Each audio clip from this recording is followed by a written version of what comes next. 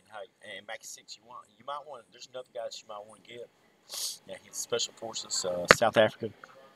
Yeah, yeah, his name's Johan. He's a skydiving instructor. Yeah. Uh, no, you you know who he is. British know who he is. Yeah. Ah, well, I skydive with him, man. Oh, I was, I was wise ghost, man.